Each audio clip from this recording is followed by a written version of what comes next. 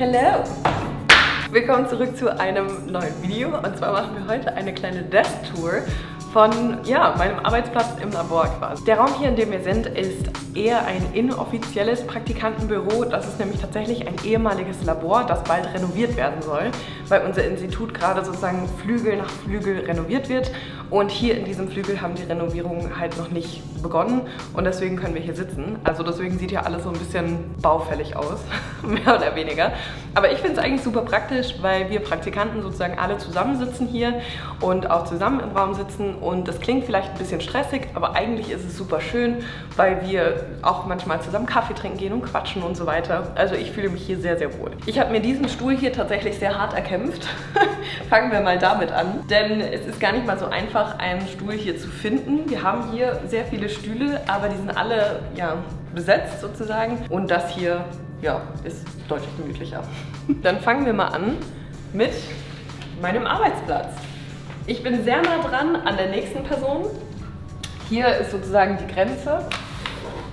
Die wurde überschritten offensichtlich. Allerdings werden demnächst sehr viele Praktikanten gehen und das bedeutet, dass wir uns jetzt langsam aber sicher wieder ein bisschen weiter ausbreiten können, weil die Masterstudierenden, die hier eben Masterarbeit machen, sind natürlich länger da als so ein durchschnittlicher Praktikant und dann kann ich mich ein bisschen ausbreiten. Wir haben hier oben eigentlich nichts großartig Spannendes. Ich bin immer so ein bisschen diejenige, die frische Masken holt, deswegen steht das hier an meinem Platz. Das hier hat mir meine Betreuerin hinterlassen. Das ist so eine kleine Notiz, als ich ihr eine Formel erklärt habe für eine Auswertung und daraus haben wir eben das kleine hier gemacht. Und hier ist noch ein extra Laborkittel, den ich langsam eigentlich mal zurück in den allgemeinen Schrank legen sollte. Ist aber einfach bisher zu faul was zu tun. Und das hier das hier ist die Rebowl-Box unserer Mensa. Man kann nämlich damit in die Mensa gehen und kann dann sozusagen diese Schüssel einfach immer und immer und wieder verwenden. Und wenn wir gemeinsam Mittagessen gehen, gehen wir ganz oft zur Mensa, holen uns dann Essen, bringen es aber hierher zurück, weil wir hier schön im Garten loungen können und es macht natürlich mehr Spaß, als in der Mensa zu sitzen. Und dann kommen wir hier zu meiner wunderschönen Arbeitsfläche. Was jetzt äh, ein bisschen unrealistisch ist oder nicht ganz so wie immer, ist tatsächlich, dass mein Laptop nicht da ist. Ich filme das nämlich natürlich an einem Samstag, damit ich hier niemanden störe. Und dadurch ist mein Laptop jetzt zu Hause, weil ich den einfach mitgenommen habe, weil ich an was arbeiten muss. Und deswegen liegt der nicht hier. Normalerweise wäre mein Laptop und eine Maus hier. Aber ihr seht meinen wunderschönen Bildschirm. Der ist von der Firma Dell. Weiß sonst nichts über diesen Bildschirm. Das ist das, was mir ausgeteilt wurde vom Institut. Und ja, was hier auf diesem Schreibtisch auf jeden Fall am allerwichtigsten ist, ist die Kaffeetasse. Ich habe einfach meine eigene Kaffeetasse mitgebracht ins Institut, weil man weiß ja nie, ob eine sozusagen über ist oder nicht. Und deswegen habe ich hier meine eigene dabei. Und hier hinten habe ich so einen Stack an Notizbüchern, die wir gerne mal durchgehen können. So, das hier ist das Laborbuch unserer PraktikantInnen. Das heißt, ähm, das ist sozusagen das Laborbuch, das unsere Praktikanten bekommen, damit sie ihre Protokolle, ihre Sachen da reinschreiben und damit wir immer Bescheid wissen, was sie gemacht haben, liegt das bei mir. Das hier ist eine Doktorarbeit ähm, und da stehen einfach ein paar Sachen drin, die ich für mein Projekt brauche und wo ich ein bisschen mehr lernen kann. Und deswegen liegt das hier auf meinem Platz, weil ich die gerade lese. Dann haben wir natürlich Esthers Lebensinselplaner. Der liegt hier immer auf dem Schreibtisch. Zurzeit benutze ich ihn tatsächlich nicht, weil er einfach im Laboralltag nicht passt. Aber ich finde, es ist trotzdem einer der besten Studentenplaner, die man so haben kann. In meinen Lernphasen und meinen Schreibphasen benutze ich den immer. Deswegen habe ich ihn einfach hier da liegen, falls ich ihn einfach benutzen möchte. Hier sind Unterlagen vom Institut. Unter anderem, glaube ich, eine Kopie von meinem Vertrag und solche anderen ja, Verwaltungsthemen. Das habe ich hier alles aufbewahrt, mehr oder weniger. Und hier sind ausgedruckte Protokolle, die zum Teil veraltet sind, zum Teil aber nicht veraltet. Und deswegen behalte ich sie einfach nochmal, um sicher zu sein, damit ich eine Kopie da habe. Ja, und das hier sind andere ausgedruckte Protokolle die wir immer wieder verwenden und deswegen liegen sie hier. Vielleicht sollte ich mir mal so ein Aktenordner-Ding holen, damit ich die alle schön wegfeiern kann. Und das hier ähm, ist offiziell mein Laborbuch. Allerdings habe ich mehr oder weniger ein inoffizielles Laborbuch und ich denke, die werden eher hier im Lab bleiben, aber das liegt hier immer so rum an der Seite. Und dann schieben wir das hier mal zurück in die Ecke. Dann haben wir hier mein inoffizielles Laborbuch und das ist Pride and Soul, wirklich. Also das ist, ich kann gar nicht beschreiben, wie wichtig es ist, so ein Notizbuch zu haben. Entweder ihr nehmt einfach das normale Laborbuch oder ein anderes. Ich verwende gerne diese hier, weil sie hier vorne ein extra Inhaltsverzeichnis drin haben und ich dadurch dann markieren kann, wo wichtige Protokolle drin sind, wo Mikroskopanweisungen drin sind und so weiter. Unser Kameramann hat sich umgesetzt, weil ihm die Hände langsam gezittert haben. ich hoffe, das habt ihr nicht zu sehr mitbekommen. Ja, auf jeden Fall ist das hier das Notizbuch, das ich einfach tagtäglich mit mir rumtrage und Notizen über alles Mögliche mache. Also das heißt, wenn ich To-Do-Listen notiere, wenn ich generell neue Versuche aufstelle, dann schreibe ich alles hier rein und auch wenn irgendwas schief läuft, schreibe ich das hier rein, damit ich dann im Nachhinein nachvollziehen kann, ob das ja, ob irgendwas schiefgegangen ist, ob alles gut war oder nicht. Gerade liegt hier auch meine äh, Sonnenbrille. Meistens liegt die immer da einfach, wenn ich ankomme und sie dann ausziehe. Und hier liegt auch ein kleines vierblättriges Kleeblatt, das von ähm, ja, einer Mitstudierenden hier, in der Kommilitonin von mir, hat sie mir gegeben, weil ich noch nie ein vierblättriges Kleeblatt in echt gesehen hatte. Und dann hat sie extra ein paar Tage drauf geachtet und eins für mich gesucht und gefunden. Und das liegt jetzt hier, weil ich finde es einfach cute. Dann wechseln wir hier mal die Seite. Hier liegt mein Schlüssel, eigentlich nichts zu Spannendes. Ich habe hier auch den Institutsschlüssel meistens dran. Ich kann den aber sehr schnell abmachen, damit ich dann ja, den zum Beispiel an die Hose machen kann. Ähm, hier sind natürlich die Verbindungskabel an den Bildschirm. Hier habe ich einfach nur so ein ganz normales Notizpad-Ding, falls ich irgendwem meine Notiz schreiben möchte. Außerdem machen wir super gerne Kanban-Boards sozusagen an der Wand oder an einem Plakat und dafür verwende ich die, weil man dann farblich markieren kann, wer was machen soll auf dem Kanban-Board. Da kommt der Organisationsfreak in mir ein bisschen raus. Just a tidbit. Äh, ganz mir getreu hängt mein Handy gerade am Strom und lädt auf. Hier, ja, das habe ich immer in meiner Schublade liegen. Hier ist mein fantastisches Mäppchen, das ich bis heute super liebe. Ihr kennt es ja wahrscheinlich, oder zumindest die, die mich länger verfolgen, die wissen ganz genau, wovon ich spreche. Und ja, gerade habe ich hier auch ein bisschen Snacks von meiner Betreuerin. Sie war nämlich in Italien und hat uns, also quasi den PraktikantInnen, ähm, Snacks mitgebracht. Und dann nehme ich das mit zum Kaffee, wenn wir Kaffee trinken gehen. Und dann kann sich jeder ein Trüffelchen nehmen. Das ist all das, was hier oben drauf liegt. Aber natürlich habe ich hier ein Schubladenelement. Und das ist gefüllt mit Shit. Machen wir hier die erste Schublade auf. Es gibt ein paar Sachen. Zum einen einen kleinen Notizblock und den habe ich, weil der hier kleben kann. Das heißt, ähm, ich kann das dann bei anderen irgendwo reinkleben, falls ich das mal muss. Ich habe hier super viele Gummibänder.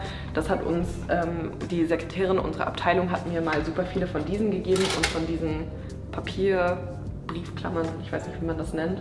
Und das habe ich jetzt einfach alles hier drin rumliegen. Ich habe noch einen Kleber und hier noch ein kleines Kabel, ein random Kabel. Das hier ist eine der wichtigsten Dinge in meiner Schublade, denn das ist das Kleingeld, was bei uns in die Kaffeemaschine kann. Ähm, unser Kaffee wurde gerade von 40 auf 60 Cent erhöht. I know. Wir können vorne an der Pforte eben unser Geld für 20 Cent Stückchen wechseln, damit man einfach immer genau das Geld hat und passend bezahlen kann. Das ist also eine der wichtigsten Dinge hier in dieser Schublade.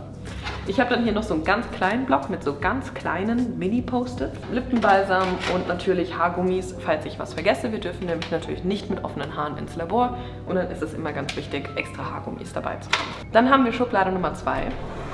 Schublade Nummer 2 ist schon ein bisschen voller und Schublade Nummer 2 ist mehr so meine Elektronik-Schublade. Das heißt, hier habe ich tatsächlich auch eine Vlogkamera drin liegen, ähm, inklusive extra Batterien, falls es mich spontan überkommt und ich vloggen möchte. Allerdings habe ich zum Beispiel auch die Festplatte, wo viele meiner Daten drauf sind. Das ist alles hier drin. Also ein paar extra Kopfhörer. Ich habe hier eine Tastatur, falls ich an der arbeiten möchte, an meinem Arbeitsplatz. Ein paar extra Kabel, noch ein paar Festplatten hier hinten, just for fun. Und ich habe hier auch Tee, ähm, falls ich irgendwann einfach Lust habe, Tee zu trinken statt Kaffee. Liegt alles hier drin. Und natürlich eine Handcreme. Normalerweise ist es hier auch voll bedeckt mit äh, ganz vielen Tempos, aber ähm, die muss ich auffüllen. Ich habe hier auch Augentropfen, wegen meinen gelaserten Augen kriege ich manchmal schon ein bisschen eher trockene Augen. Und dann habe ich das alles hier drin. Das hier ist also gut gefüllt, wie ihr sehen könnt. Meine allerliebste Schublade ist allerdings diese hier. Denn das ist die Snack-Schublade. Hier liegt auch mein iPad drin, das lasse ich meistens hier auf der Arbeit liegen. Ähm, dann habe ich nämlich immer was zum Ansehen, Schreiben und so weiter. Ich drucke ja inzwischen eigentlich fast gar nichts mehr aus und arbeite immer am iPad. Aber der Rest dieser Schublade sind Snacks. Dieses Video ist nicht gesponsert von Koro. Ich finde tatsächlich deren Sachen einfach super. Was ich hier drin habe, sind Aprikosen in Zartbitterschokolade. Ich finde, es ist einfach ein super Mini-Snack. Ich habe aber auch super viele von diesen Proteinbällen im Brownie-Geschmack. Ähm, auch einfach ein kleiner Snack.